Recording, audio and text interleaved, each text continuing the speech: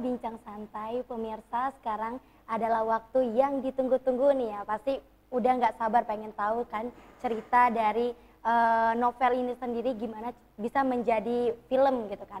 Nah Mbak Indah ini lalu bagaimana nih awal mula novel ini akan difilmkan nih? Apakah kamu ada mengira gitu bakal film ini uh, novel ini bakal film jadi film? Uh, kalau untuk urusan film itu sih ya sebenarnya memang ada keinginan. Mm -hmm. Keinginan salah satu tulisan saya bisa difilmkan.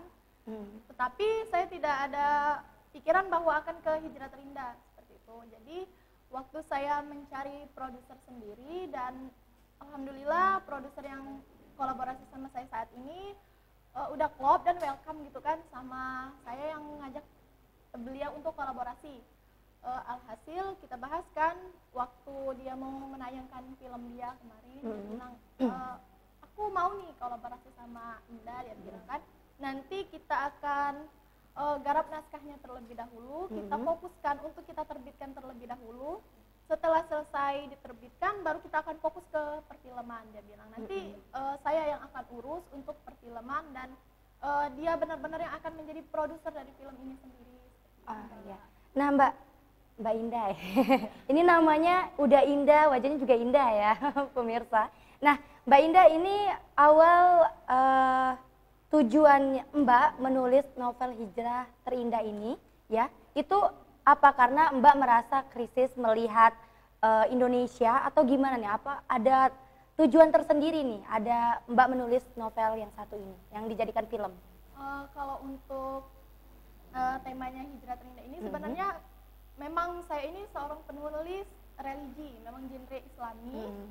Uh, dan untuk hijrah terindah sendiri ini benar seperti yang Mbak katakan, hmm. karena melihat di uh, lebih tepatnya di Indonesia gitu kan, hmm. banyak remaja-remaja yang sudah mengikuti alurnya zaman sekarang gitu kan, hmm. jadi banyak yang uh, jauh dari agama, hmm. banyak yang kurang sopan santun hmm. dan lain sebagainya. Jadi saya termotivasi untuk membuat naskah itu bertemakan hijrah. Jadi hmm. bertemakan hijrah di mana uh, tokohnya itu bukan orang yang benar-benar udah solihah gitu kan, hmm. tapi uh, orang yang biasa-biasa bahkan bisa dibilang dia itu orang yang tidak mengenal Tuhannya seperti itu. Hmm. Jadi perjalanannya itu memang saya ambil dari kebanyakan kisah nyata kisah nyata yang uh, sedang banyak dialami oleh remaja zaman sekarang. Oh, iya. Berarti ini Mbak juga memberikan suatu pesan ya, ya. untuk uh, pembaca agar uh, mungkin biar bisa hijrah gitu kan.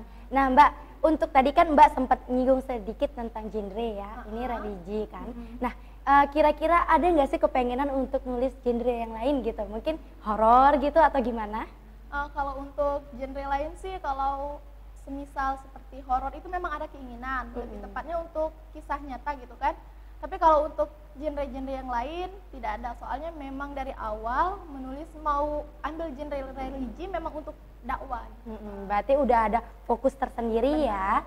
Nah pemirsa uh, ini kita jeda dulu jangan ke mana-mana tetap di bisa bincang santai. Ah, ah, ah,